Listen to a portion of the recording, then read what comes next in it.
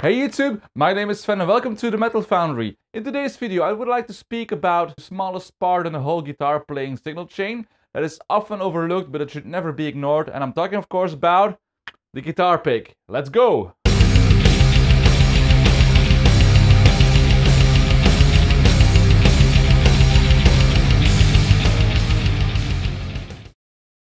for a lot of people, the guitar pick is just a small tool just that you use to play guitar, just to strum the strings and to pick the notes. But if you look at this, there's actually a whole story behind this. It's very interesting. So if you look in the past, people would make guitar picks out of tortoise shells.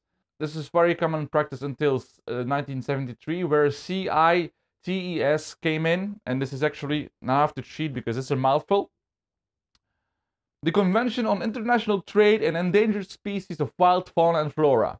This was signed in 1973 and it prohibited trade and the transportation of exotic woods and uh, tusk and so on just to yeah protect the environment and to protect the fauna and flora. But ever since guitar picks are also made of other materials like uh, plastic, wood, metal or even coins like Brian May is doing since ages.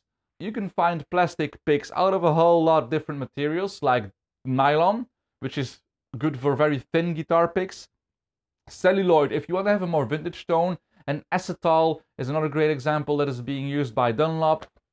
Acetal is also known under the brand name Delrin.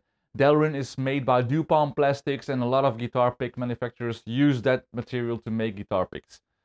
In my collection I have several guitar picks from different size and different materials. Like, uh, yeah, the Winspear picks that I use here. These are made out of polyethylene and I also have some Dunlop picks that are made out of Ultem or Ultex. Ultem gives a very bright tone and attack. And if you look at Delrin, you also have Delrex, and Delrex is also known as Tortex, and Tortex is made to replicate the feel and the look and, and, the, and the attack of tortoise shell guitar picks. So they found a way to replicate the same look and feel, but famously known now as tortoise shells, but is now known as Tortex. A great example of Tortex guitar picks is the Gator picks by Dunlop. And throughout the 18 years that I've been playing guitar, I've changed picks every once in a while, like I've also changed guitar strings. I've started with the basic Dunlop nylon strings that you can get from the guitar store. Match picks are a great example. You could buy these per six, like they were a box of matches. Then I moved on to the Hetfield Black Fangs, by Dunlop. The Black Fang is a uh, guitar pick made out of Ultex and gives a sharp attack and, and it has extra sharp edges. James Hetfield is known for his percussive style of playing.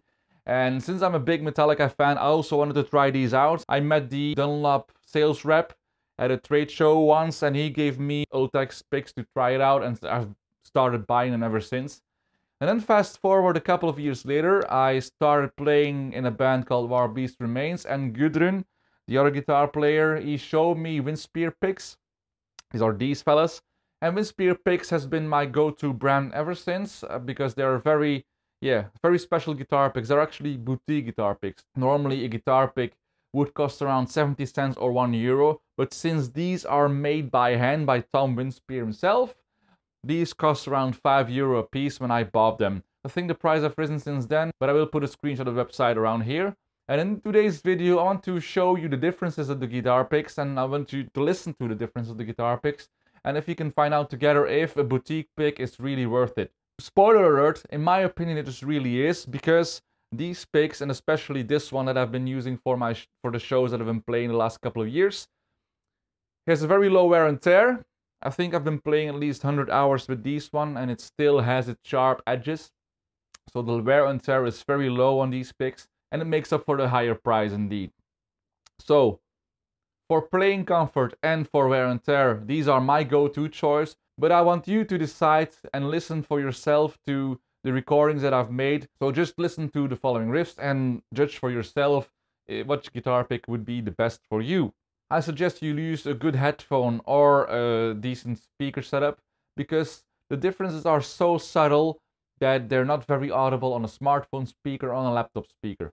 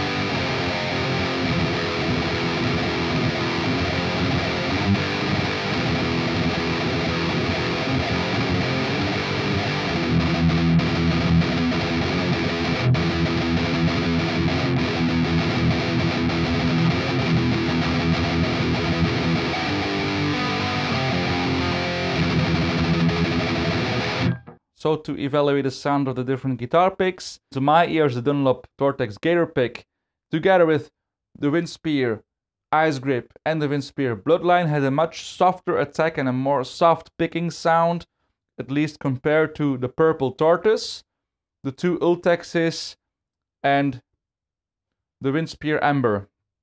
Overall, my favorite and for at least for feel of playing and sound was the Winspear Purity, since this one for me is a good all-rounder if you compare the softness, the sound, the precision and the picking attack. So, this concludes my video about guitar picks. I hope you liked it and you found it informative and please make sure to let me know in the comment section which guitar picks you are using and what is your favorite out of the recordings that I made in this video. If you like this video, please give it a thumbs up and if you like the content that I'm creating in this channel and you want to help me grow this channel, please subscribe and click the notification bell to be notified whenever I upload a new video which will be every single week. My name is Sven and you've been watching The Metal Foundry. See you next week. Bye bye.